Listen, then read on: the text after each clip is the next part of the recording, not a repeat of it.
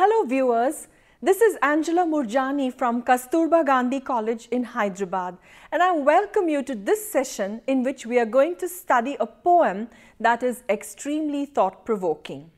The poem is called Kalahandi. Now Kalahandi is a very real district in Orissa that has constantly suffered the onslaught of natural calamities like drought and the poverty that that brings in its wake. The poem is a typical picture of the deprivation and misery that is the portion of many such villages throughout our country. But what happens in the aftermath of a natural tragedy is even more terrible and it just compounds their misery. When the suffering of the villagers is at its very peak, throngs of politicians descend upon these villages opportunist politicians are always on the alert, looking out for a chance where they might promote themselves. Along with them come the bureaucrats and the officials who make huge promises about a better future. And the media is always there when they see or smell a sensational story. However, very soon the politicians, the bureaucrats and the media all disappear and as the dust settles on the hapless villagers, they find that they are left to their own devices and their own fate to solve their own problems and find solutions that would work for them. The poem Kalahandi compels us to confront this part of our society which has always evoked two paradoxical reactions from the rest of us. Either we are filled with compassion and show great interest in the problems of this section of society or we are totally uninterested and apathetic, sometimes our apathy even leading to complete forgetfulness. At face value, the poem appears to be a matter-of-fact statement of all the problems that are faced by a village that has become the victim of the vagaries of nature. However, if we look at it at a deeper level, it is a sharp indictment of the many systems in our society like government, politicians, bureaucrats, the media and even the common people of India. The poet who penned this work is Jagannath Prasad Das, born in 1936 to very middle class parents in Orissa. After his education, Das served for a brief stint as a lecturer in the University of Allahabad However, in 1958, he gave that up to join the IAS. He did a posting at Kalahandi which forever changed his life and he decided to quit the IAS in 1984 and become a full-time writer. His opinion about life in the IAS and life in general had changed completely at this point in time. Das had begun to write at an early age publishing his first collection of poems in 1951 and he was widely published in local Oriya journals. Of the poets who have come out of post-independent Orissa, Das must be acknowledged as the most multi-talented and prolific. He is a poet, painter, short story writer, playwright, novelist and an art critic whose career graph spans over a few decades. In recognition of his wide-ranging talents as an artist, J.P. Das was awarded the Saraswati Samman. Through all the genres that Das has worked in, he has consistently displayed a unique sensibility, the main themes of his work being the suffering of the poor and the exploitation of their situations by politicians and the media. It has also deeply troubled him that the rest of India that is more well off has always showed an indifference to the sufferings and misery of the poor.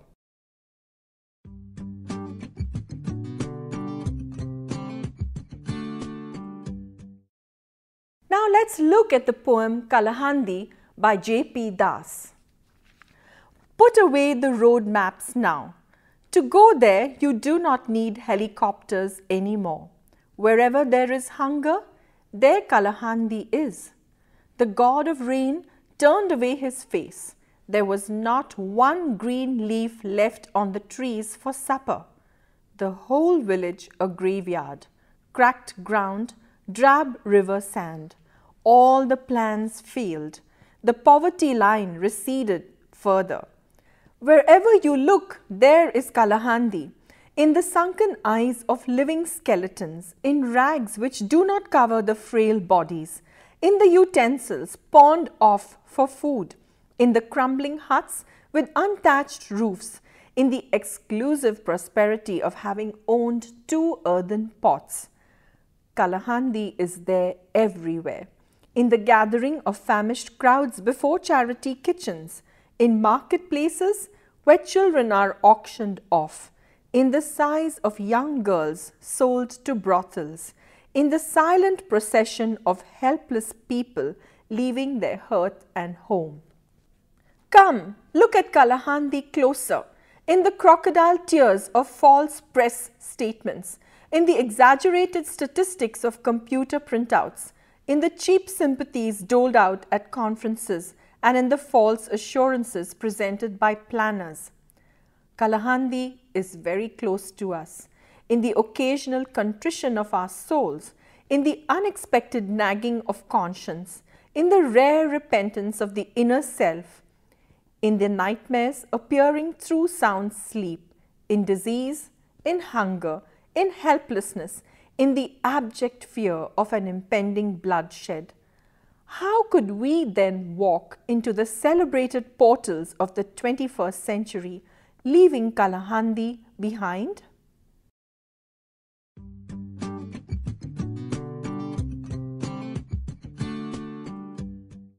The poem opens with a shocking statement that one does not need a map to find Kalahandi because Kalahandi is wherever there is hunger. Wherever there is deprivation, wherever there is suffering, lack and misery, there is a Kalahandi. Now Kalahandi has become a metaphor. It is wherever human tragedy occurs, there one might find Kalahandi. And the poet seems to suggest that there are many Kalahandis sprinkled throughout India and even through the rest of the world. Stanza 2 paints a graphic picture of the village itself.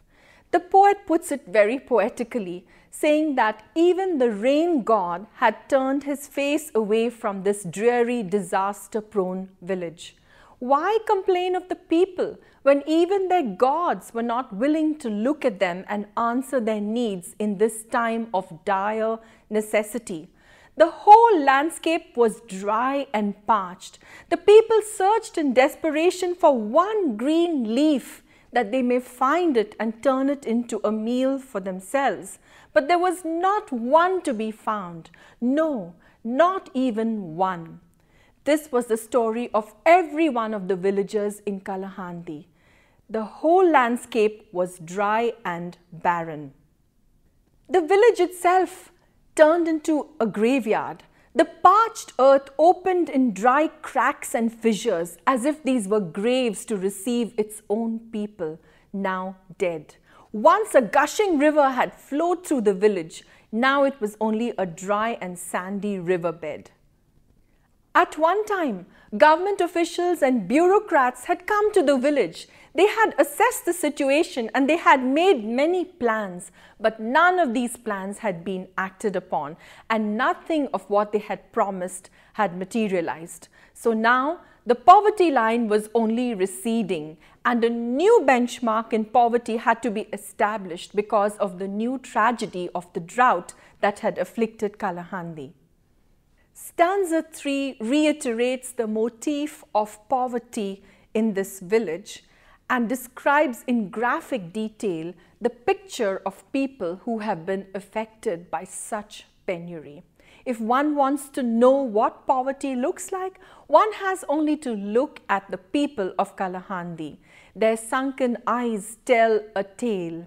If you look at them, they are like walking skeletons, bits and pieces of rags barely covering their bony frames. The few utensils and other household tools that they might have possessed had long since been traded in for food. Their houses were falling apart, the roofs caving in, barely providing any shelter by day or protection by night. In the abject poverty of Kalahandi, any villager who owned two pots would be considered prosperous.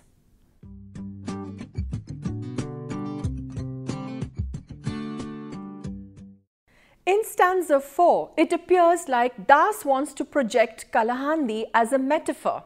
A metaphor is a symbol or a word picture which stands for something much larger or greater than its own immediate meaning or context. To Das now, Kalahandi has spread everywhere. Wherever the scenario is the same as in the village of Kalahandi, that is a new Kalahandi. Therefore, Kalahandi is no longer restricted to its geographical location of a village in Orissa. It is wherever poverty is to be found. There are four specific places where, according to Das, one might find Kalahandi. He says that wherever there are hungry, pushing, shoving crowds, trying to get some food from a kitchen established by a charitable organization to assuage the hunger pangs that are eating into their very system, there is Kalahandi. Wherever one may see villagers trying to auction off their children, in that extreme privation, one can see Kalahandi living in the relative comfort of urban India, it's probably very difficult for us to imagine that people would be so constrained by financial situations as to sell their very own little children. But the truth is that children are sold everywhere. The sad truth is that in remote and not so remote places in India, and why, yes, even in other places of the world, people do sell their children for cash. Kalahandi may also be found where people are giving in their young daughters into brothels in exchange for money, being hard pressed and not knowing where else to find the money which they so desperately need in order to face the basic requirements of life. When we see that, we know that here is another Kalahandi. Lastly, one can see Kalahandi in those eyes, sunken eyes, dead eyes, eyes in which there is no hope for the future, eyes which hold no promise for a better tomorrow, eyes that are carried by legs that are plodding on, leaving their homes in order to search for a greener pasture. There again, one might find a Kalahandi. In the first four stanzas, Das has painted a very vivid and clear picture of what a drought-struck village and its poor penury-struck inhabitants must look like. But now there is suddenly a shift in his tone. There is a dramatic turnaround and it appears that in the following stanzas, Das wants us to confront the reality of the Kalahandis in our country and in our lives. And he wants to force an answer from us and it is to the conscience of the reader that he makes the appeal that comes in the rest of this poem.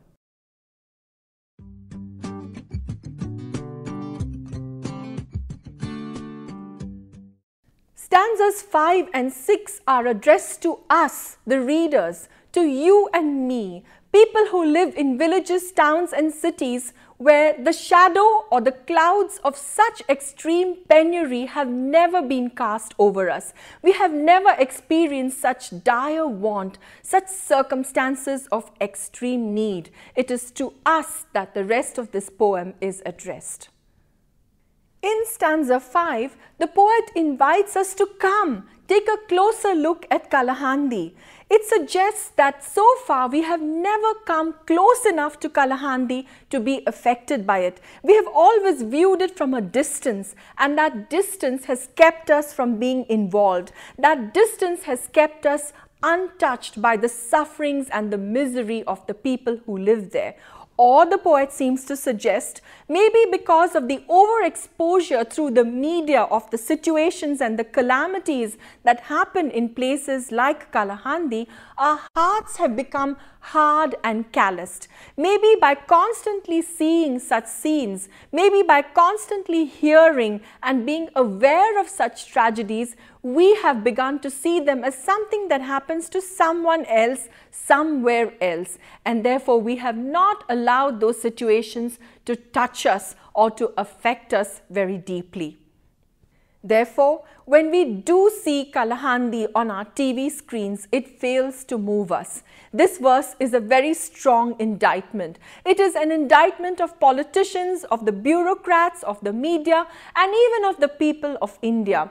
It is an indictment and a criticism of everyone who uses the situations of Kalahandi for various purposes to serve their own ends and does nothing in exchange to alleviate the sufferings of the poor who are really going through these tragedies at a personal and a family level. Das has this against the media that they use these calamities to raise their TRP ratings. They use it to gain the sympathy of the people, to pull on their heartstrings that they might watch more and therefore the TV stations might become more popular. Das speaks at length about the leaders and the politicians who appear on TV at such sites where calamities have happened and they pretend to shed tears. He calls these crocodile tears. An ancient anecdote tells us that crocodiles cry tears in order to lure their victims to themselves or sometimes they cry tears when they are actually devouring their victims to Das, this seems an apt comparison because these politicians are using the situation in places like Kalahandi only to promote themselves, only to gain favor, only to become more popular and that's why the poet seems to be really annoyed with these leaders. Das is equally upset with government officials and bureaucrats who appear on the scene pretending to have great sympathy for the people who are suffering. They make false promises of a better tomorrow, but seldom do they work out those promises. Seldom do they do anything to materialize the plans and the concepts which they talk about. The sympathy which they display costs them nothing because they give nothing from their own pockets. They simply make false promises and appear to be doing their job while in reality they have no intention of doing anything for the poor denizens of Kalahandi. Those dear villagers know it well. So their eyes remain empty of hope for even though they have been spoken to by politicians, leaders and bureaucrats, they know better than to expect anything from them for the future.